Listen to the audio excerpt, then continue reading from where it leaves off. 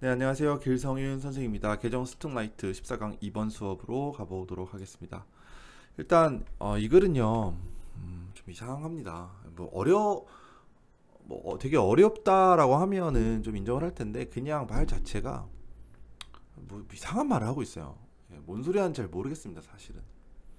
최대한 열심히 수업을 하기는 하겠지만 완벽하게는 뭐 이해를 안 돼, 이해가 안 될 수도 있습니다. 근데 보통 이러한 질문들이 책에 보면은 몇 개씩 있는데 너무 스트레스를 받을 필요는 없어요. 왜냐하면 어, 내용적으로 자세하게 이해를 해야지만 풀 수 있는 문제들은 사실 선생님들께서도 내기가 좀 힘듭니다. 음, 그래서 이렇게 어려운 질문일수록 뭐 단어나 어법 뭐 이 정도로 좀 그 정도로 좁혀서 공부하시는 게 나아요.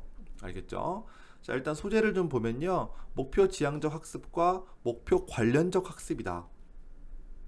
이거는 제가 조금 생각을 해보니까 목표 지향적인 것은 그 목표만을 향해서 공부하는 거, 아니 공부라기보다는 어떤 어, 공부하는 거죠 학습이니까 공부하는 거라고 생각하시면 돼요. 예를, 예를 들어서 뭐 이번 중간고사를 보는데 중간고사 영어 100점을 맞기 위해서 나는 지문을 달달달 외운다 이런 게 이제 목표 지향적인 학습이죠. 목표 관련적 학습 뭐냐면 내가 영어를 100점을 맞기 위해서 지금 지문이 뭐 한 10개 정도가 뭐 시험 범위인데 이것만 공부하는 것은 아니고 두루두루 영어 공부를 같이 하는 거. 뭐이 이 정도로 우리가 이해해 두시면 될 것 같아요. 목표 관련적, 이 목표와 관련된 것까지 같이 공부를 하는 거. 대충 그렇게 알아두세요. 그리고 어, 이걸 영어로 적어두면 뭐 딱 정해져 있어요. 그 목표 지향적 학습과 목표 관련적 학습의 차이점에 대해서 얘기를 하고 있으니까 이건 제가 볼 때는 제목이나 주제로 나올 가능성이 상당히 있, 는 그런 지문이에요. 아시겠죠? 잡아두시고 문장 좀 가볼게요. 일단 기분이 나왔어요. 기분은 뭐뭇을 고려해 봤을 때 이런 뜻입니다. 알아두세요. 기분은 뭐뭇을 감안하면 혹은 뭐뭇을 고려해 봤을 때 이런 얘기죠. The range of the goals that can influence learning 학습에 영향을 미칠 수 있는 이거죠. 학습에 영향을 미칠 수 있는 목표의 범위를 생각해 봤을 때 It is not surprising that 가주어, 진주어, 구문이에요. that 이하는 놀라운 것이 아니다. that 이하가 뭔데? different models, 다른 모형들이 reflect different types and degrees, 다른 종류와 다른 정도 를 반영할 수 있다는 것, 보여줄 수 있다는 것은 놀라울 것이 아니다. 자, 이게 말이 진짜 무슨 말인지 모르겠잖아요. 그러니까 이게 무슨 말이냐 하면 제가 아까 설명드렸죠. 목표 지향적과 목표 관련적은 학습의 어떤 방향이나 태도가 달라지는 거죠. 당장 내일 내일이 아니라 며칠 뒤에 영어 시험을 이제 중간고사를 본다면 뭐 지문을 암기하든지 이런 식으로 딱 그것만 해서 공부하는 것이고 내가 영어 실력을 높이고 싶다라는 측면에서 봤을 때는 뭐 듣기도 공부할 수 있겠고 리딩도 공부할 수도 있겠고 여러 가지가 될 수가 있겠죠. 당연히 다를 수밖에 없는 거예요. 예, 그래서 다른 모형들이 다른 그 모델들 어떤 모델이냐, 그러니까 목표 지향적이냐, 목표 관련적이냐, 어떤 모델이냐가 어, 목표를 목표를 기반으로 하는 그러한 영향의 정도와 종류에 다른 영향을 미칠 수밖에 없다. 뭐 이런 얘기예요. 오케이. 예, 너무 완벽하게 이해하려고 하지 마세요. 여기서는 일단 공부해야 될 것은 이 기분이라는 단어와 가주어, 진주어 구문만 알고 일단 넘어가죠. 아, 여기 이제 관계대명사까지 좀 보고 넘어가죠. 예, 요거는 대시 관계대명사니까 위치로 바꿀 수는 있겠고요. 그죠? 자, 그 다음. 이 사람과 이 사람 두 사람은 제안했다, 제안한다. 뭐를요? broad distinction. 자, 이게 이제 중요한 단어죠. 넓은. 넓은이라기보다는 개괄적인이라는 건 무슨 말이냐 하면 rough하다라고 하거든요. 우리가 보통. 그러니까 대략적인 거예요. 여기서 broad란 느낌은 개괄적인 그러니까 좀 넓은 범위의 구분이 되는 거죠. 딱 정확한 구분이라는 게 아니에요. 단어 rough라는 거 알아두세요. rough 약간 대략적인 거. between learning which is explicitly goal driven and that which is goal relevant. 일단 여기서는 goal driven과 goal relevant 목표 지향적과 목표 관련적 학습의 약간 브로드한 좀 넓은 의미의 구분을 제한한다 이런 뜻이죠. 알겠죠? 자, 근데 여기는 어법상 진짜 중요한 게 나와요. 일단 이 위치는 관계대명사죠, 당연히. 그러니까 대수로 바꿀 수 있고요. 예, 이거 그리고 어, explicitly 명백하게라는 뜻입니다. 명시적으로 명백하게. obviously 이런 단어는 좀 알아두세요. obviously나 apparently 동의어예요. 알겠죠? 음. 그래서 명백하게 목표 지향적인 학습과 and that 여기서 대시 중요해요. 이 대시 가리키는 것은 앞에 있는 learning을 받은 겁니다. 자, 이거 꼭 알아두세요. 앞에 있는 learning과 여기 있는 that, 이 that은 대명사예요. 같은 문장에서 앞에 있는 명사를 다시 받을 땐 대시나 도주를 쓴다라고 우리가 배웠거든요. 단수기 때문에 대시 되는 거죠. 이 대시 관계대명사가 아니라는 게 중요해요. 그냥 명사예요. learning. 그냥 이 대시는 learning하고 똑같은 것이다. 이렇게 받으셔야 돼요. 오케이? 자, 그리고 그 뒤에 나와 있는 which is goal relevant가 그럼 뭘 꾸며준다? 이, 이 대시를 꾸며주고 있는 거죠. 이 대시는 learning이니까. 그럼 다시 목표 지향적인 학습과 목표와 관련된 학습 사이의 넓은 구분을 제한한다. 이런 뜻이에요. 이해갑니까? 어느 정도 나오죠. 그죠? 음. 자, 그러면 목표 지향적인 아, 목표 관련적인 처리는 is not explicitly directed by the goals of the listener. 이게 목표 지금 관련적이에요. 아까 제가 말했죠. 이게 어떤 하나의 목표만 보고 달려가는 건 아니에요. 전체적인 걸 이렇게 보는 거죠. 그래서 여기서 reasoner라고 나와 있는데 이거는 이제 추론자 reason이 이제 추론의 뜻이 있어요. 이유 말고 이게 추론이라는 의미, 추론이나 뭐 이성, 생각 뭐 이런 여러 가지 뜻이 있는데 여기서 말한 추론자는 그냥 학습자로 이해하시면 될 것 같아요. 이게 왜 이렇게 어려운 말을 쓰는지 모르겠어요. 그냥 학습자, learner, 어, 학습자의 목표에 의해서 명백하게 직, 명백하게 어, 다이렉트는 이제 알아두실 게 형용사로 쓰이면은 직접적인이란 뜻이죠. 직접적인. 근데 이제 동사로 쓰이면은 안내하다 이런 뜻이에요. 안내하다. 방향을 안내하다.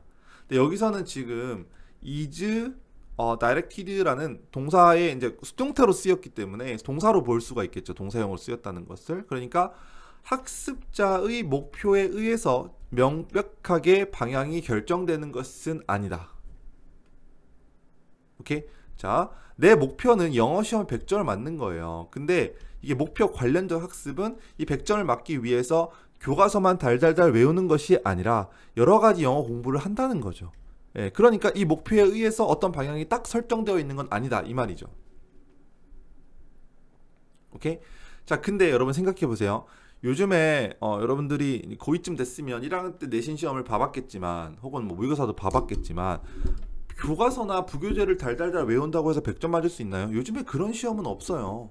선생님이 항상 강조하는 거죠. 그래서 암기하지 말라고 하는 게 그 이유죠. 예, 그런데 그래서 이, 이 100점을 맞기 위해서는 영어 실력 자체를 높여야 된다는 거죠. 단어도 암기해야 되고 여기 본문에 나와 있는 단어뿐만 아니라 뭐 동의어, 반의어 등등등 여러 가지 단어 다른 단어들도 외워야 되고 그 다음에 뭐 어법도 공부를 따로 또 해야 되고 학습 뭐 본문 학습 그 다음에 뭐 어, 뭐죠 구문 학습 그다음 reading 여러 가지를 다 공부해야 되죠. 그렇게 하다 보면은 100점이 나오는 거죠.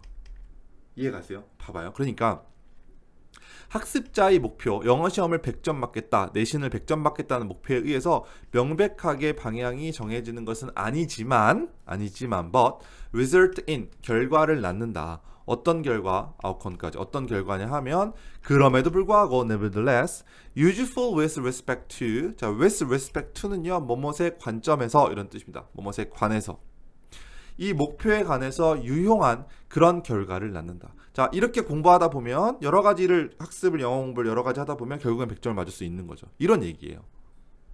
무슨 말인지 아시겠죠? 다시 볼게요.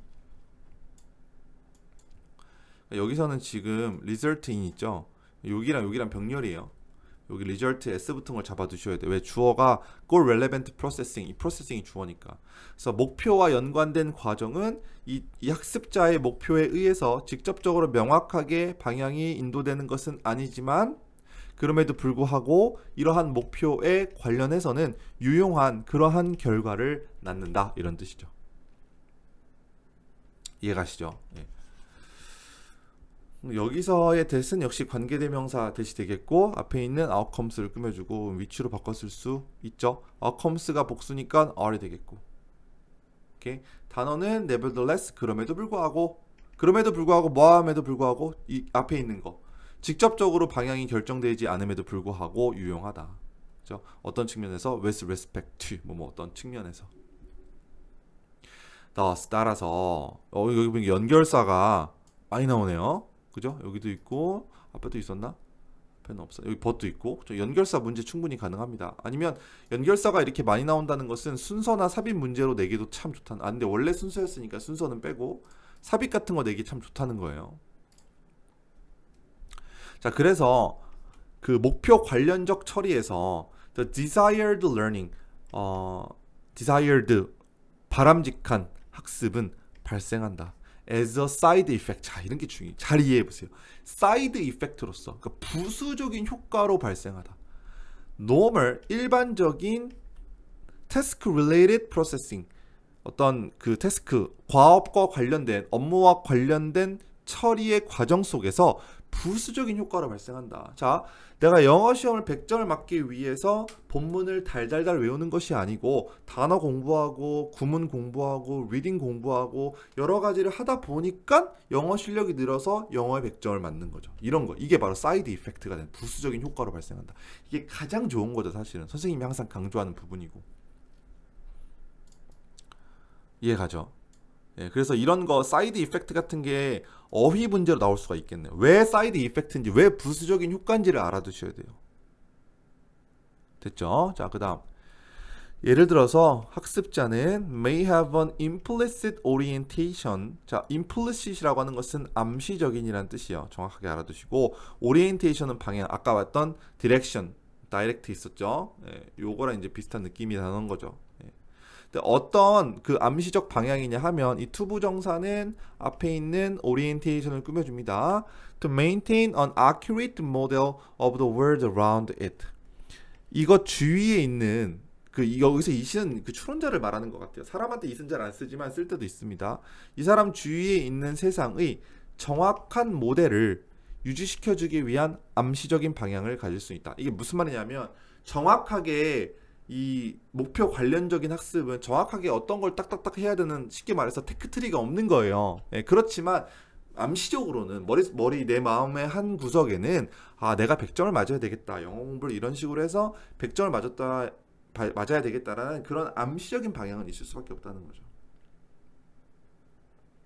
무슨 말인지 아시겠죠? 됐죠? 자, 그다음 반면에 연결사 또 나와. 이게 연결사 문제 진짜 각이다. 네. 반면에 목표 지향적인 학습은 is driven by 뭐뭇에 의해서 추진된다. driven by 뭐에 의해서요? 명백한 학습의 목표에 의해서 난 100점을 맞을 거야. 무조건. 난 다 외울 거야. 이렇게 된다는 거죠. 이해가시죠? 그래서 이러한 목표들이 영향을 미친다. 혹은 결정한다. 뭐를 content of what is learned요. 학습이 되어지는 내가 무엇을 학습할 것인가에 대한 내용을 결정하기도 한다. 그렇죠. 아까는 봐봐요. 학습 목표 아니죠. 학습 관련전 아 뭐죠?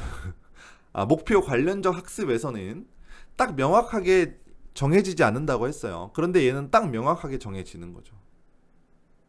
이해가시죠? 무엇이 학습될 것인지에 대해서.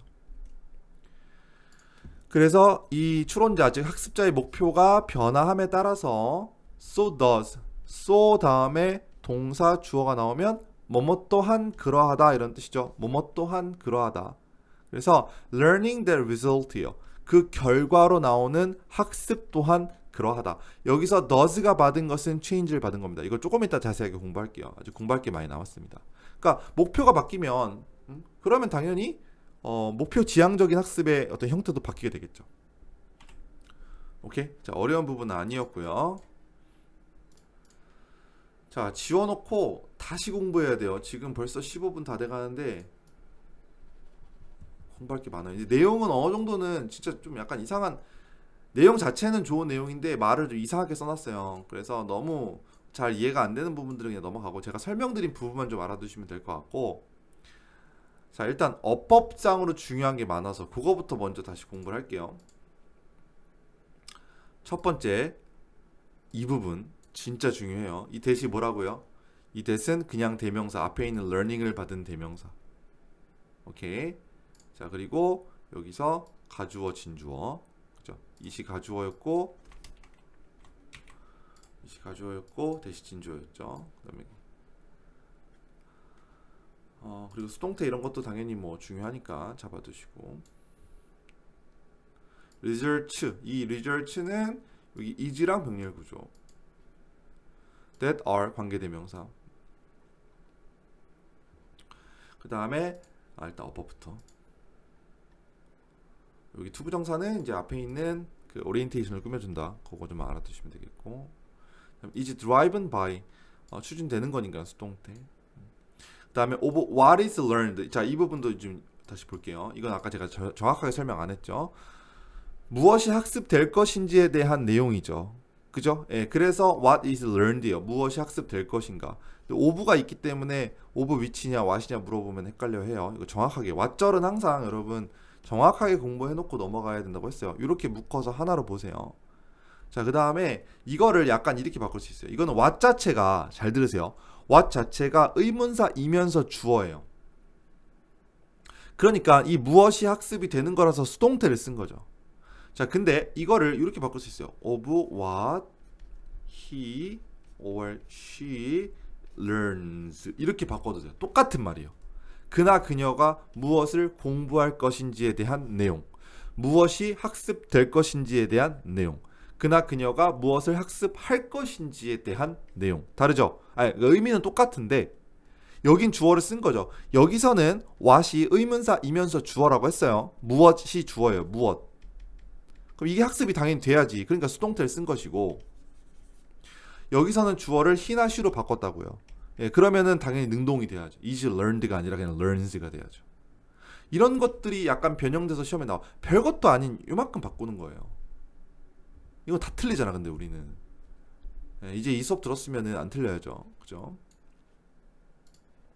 자 그 다음에 이 부분 이것도 되게 중요해 보이고요 여기도 되게 중요합니다 일단은 이 더즈를요 이거 문장을 이렇게 일단 바꿔 놓으세요.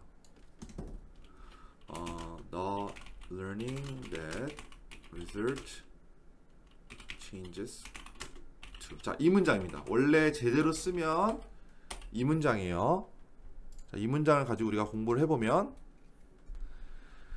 그 결과인 학습, 그러니까 목표가 변하면 이 목표의 결과가 결과로 나오는 어떤 학습이죠. 예, 그러한 학습 또한 변한다 이거예요. 됐어요? 자, 근데 여기서 to를요, so로 바꿔서 앞으로 뺀 거예요. so로 바꿔서 앞으로 빼고 그러면서 주어 동사의 도치가 발생한 거죠. 이해가세요? 여기까지?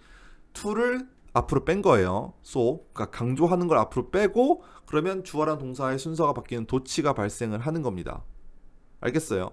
예, 근데 여기서는 일반 동사 changes라는 일반 동사가 나왔어요. 그래서 두로 받은 거죠. 도치를 시킬 때 일반 동사는 두로 받으니까. 근데 주어가 learning 단수니까 두가 아닌 더즈로 바뀐 거죠. 알겠어요? 이거 엄청나게 중요합니다. 특히 가장 시험에 잘 나올 수 있는 형태는 이 형태예요. 둘 중에 뭐가 맞느냐. 예, 더즈를 골라야 된다. 근데 암기하지 마시고 change이기 때문에 change이기 때문에 does가 된다. 그리고 왜 두가 아니라 더즈냐 하면 주어가 learning이니까 단수니까. 알겠죠? 예, 이게 엄청 중요해서 이것을 강조했는데 이 부분도 중요해요. 관계대명사니까 that result 이것도 이렇게 꾸며줍니다. 그래서 이 부분은 전체적으로 엄청 중요하다. 자 이렇게 볼까요? 네, 그래서 가장 중요한 네 개가 이거예요. 나머지 노란색 칠한 것도 중요합니다. 그런데 가장 중요한 네 개는 이거. 자 그리고 어휘로 좀 가볼게요. 공부할 거 진짜 많습니다. 어휘는 given, 그죠? 어, 그리고 distinction, 이건 구별, 차이, 구분 이런 뜻이죠. 그다음에 explicitly 아까 얘기했죠. 그리고 nevertheless 그럼에도 불구하고 그래서 어휘 공부하면서 같이 할 게 연결사 하나 둘 그죠 but 있었죠 nevertheless도 연결사로 봐야 돼요 셋 넷 다섯 다섯 개나 있어요 연결사가 네, 그래서 이건 원래는 순서 문제였는데 연결사나 삽입 문제 가능성 충분히 있습니다 그래서 연결사는 일단은 이 thus는요 hence 알아두시고 따라서 그러므로라는 뜻이니까 therefore 알아두시고요. 같은 뜻이죠. 그 다음에 nevertheless는 그럼에도 불구하고라는 뜻으로 nonetheless. 그다음에 still로 바꿀 쓸 수도 있어요. 여전히 그래도 이런 뜻으로 still. 그 다음에 이거 side effect의 느낌 부수적인 왜 부수적인 효과인지를 확실하게 이해하셔야 돼요. 여러 가지 영어를 공부하다 보니까 영어 시험 100점을 맞는 거. 이거 단어 시험 나올 가능성 충분히 있어요. 됐죠? 연결사 잡아두시고 네, 이 정도면 되나요? 네, 아이고. 네, 그래서 제가 볼 때는 주제, 제목이나 주제, 그 다음에 연결사, 그죠? 그 다음 어법, 어휘까지. 그 다음에 이런 거 가지고 뭐 서술형까지 정확하게 알아두시는 게 좋습니다. 이거 진짜 중요한 지문이에요. 알겠죠? 그러니까 내용 자체를 너무 완벽하게 이해 못해도 되지만 지문 자체 공부할 건 많다. 이렇게 봐주시면 되겠어요. 오케이. 네, 여기까지 14강 2번의 수업을 마치겠습니다.